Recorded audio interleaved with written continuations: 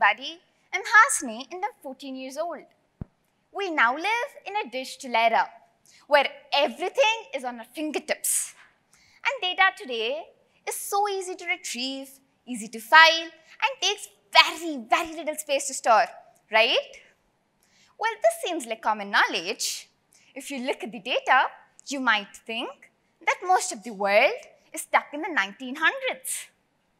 You might be surprised to know that in the last 40 years, the world consumption of paper has grown over 400%. Now, for instance, how many sheets of paper do you think an average office worker uses in a year? You may think a few hundreds or so, right? But in reality, it's 10,000 sheets. That's literally just one person.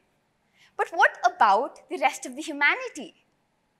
Well, today, the world consumes about 400 million metric tons of paper every year. Just imagine. Gosh, that's a lot of paper. Most of this paper is made from the virgin pulp that comes from nearly 4 billion trees, which is 42% of the global wood harvested.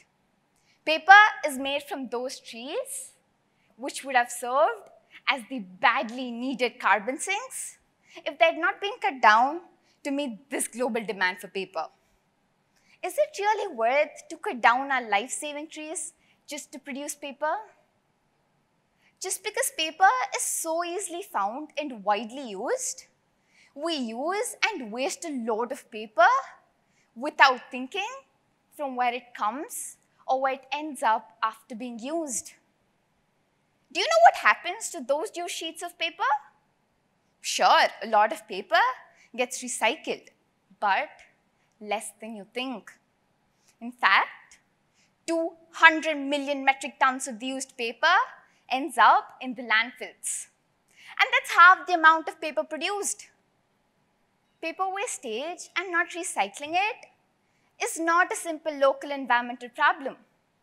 Instead, it is a worldwide issue because it is directly connected to all the other larger environmental problems such as deforestation, global warming, and climate change. The magnitude of the problem inspired me to do something about it. Hence, I came up with an idea that could help us reuse paper. A smart device that can remove any kind of ink from the paper without damaging it while making a complete highway towards saving paper and making a sustainable development. This way, the same sheet of paper could be reused again and again. It all began last year. It was the end of my eighth grade, and I was bundling up all my textbooks, notebooks, worksheets, and A4 sheets that did not need anymore. I was so surprised to find out that in just one school year, I'd used up 30 notebooks and textbooks and a huge bunch of A4 sheets, which were now going to end up in the recycling bin or the trash. And then again, I have to buy new notebooks and textbooks for the next year, making a complete cycle of usage and wastage. That was just me, one person, throwing away 30 notebooks and textbooks. But what about my friends, the rest of the school, the rest of the human population are throwing away paper? After a few days, I noticed my mother remove a nail polish and I watched her do it. I smiled. An idea had occurred to me. I started experimenting and trying out many ways to remove pen ink from paper. And here's my first trial. I was able to get rid of the pen ink, but there were marks still left behind. Hence, the paper was damaged. But there it was my vision of reusing paper. Then I began conducting extensive research to achieve my vision of the gadget, which is to remove pen and print ink from the paper without damaging the paper fibers.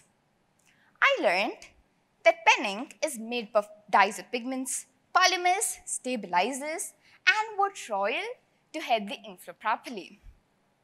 Just like other objects, the pen ink also reflects its dyes or pigments to a certain fraction of light, due to which we can see the colors. For example, the tiny little crystals present in the blue ink reflect the color blue. Now, to remove all these bad guys from the paper, we need a very powerful superhero. And that powerful superhero is a chemical called acetone. Acetone is composed of hydrogen, oxygen, and carbon atoms. These atoms bind to the central carbon atoms of the dyes of pigments and help remove them from the paper without damaging the paper fibers. So, how does this gadget remove print ink? Well, it uses laser technology to do so. A visible green laser passes through the paper, vaporizing the toner ink without damaging it. After all this hectic research, I began designing a stew of models. And finally, here's my model. The device looks like an extended laptop that runs on a battery that can be charged using solar or wind energy or electricity. So here's how the device works. First, you need to place a side of a sheet that you want to remove the ink facing downwards onto the screen. After inserting a sheet and selecting which type of ink you want to remove, the machine measures the width of the sheet so that it can use the right amount of chemicals on it. Then, it sprays acetone to remove pen ink or uses laser technology to remove print ink. After which, it applies pressure to the paper so that even if the paper gets soaked with the chemicals, it does not tear and remains in shape. Just imagine this device as a mini washing machine that removes ink from paper, just like how our washing machines remove and clean stains from our clothes. By using this device, we can reuse the same old sheet of paper again and again, as many times you want to. We also need not spend thousands and thousands of rupees every year to buy new notebooks or paper. Most importantly, we can save millions and millions of trees which are being cut down in order to produce paper and make the earth a greener place. This is my little contribution towards making a sustainable development. And I hope that in some way this inspires you to find your own creative idea and make a positive change in the world to make Earth a better and greener place for the future. Thank you.